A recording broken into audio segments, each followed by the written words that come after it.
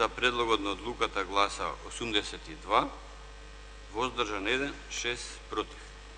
Констатирам дека Собранието ја донесе одлуката за пристапување кон измена на Уставот на Република Македонија.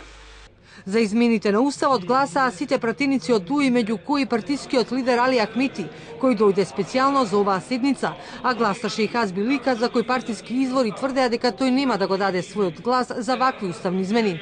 За измените гласаа Чедомир Саздовски од Гром и одметнатата пратиничка од НДП Мирсада Асани, со што обезбедија двотретинска подршка за уставните измени. Единствената опозиционерка Роза Топузова Каровска гласаше воздржано, ДПА против.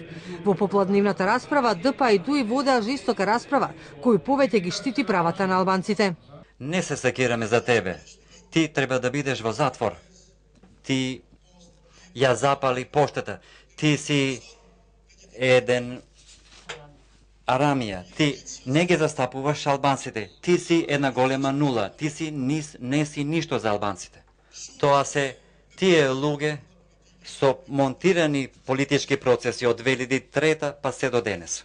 За жал, господинот толку знае и така говори, затоа што Ке повторам, толку знае, јас нема да му се лутам, а колку за шпионство, за убиства и друго, знае населението кој што направи во минатото, а колку за поштата, ти и твоите колеги, јас се гордеам со работата што ја направи во поштата, работата на оганот е нешто сосема, пожарот е нешто сосема друго, меѓутоа вие не знаете што е срам, а безсрамниот човек, што го да му кажеш, тој толку знае. Владеачката ВМРО ДПМН е денеска уште еднаш ја повика опозицијата да учествува во расправата за измените на Уставот.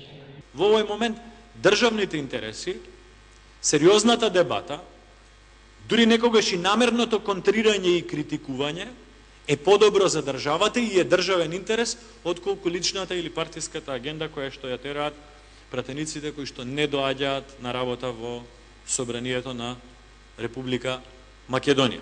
Во меѓувреме, СДСМ веќе се изјасни, оти во време кога парламентот е без опозиција, катастрофално е да се носат уставни измени. Од денеска течат 10 дена во кои владата треба до собранието да достави нацрт амандмани.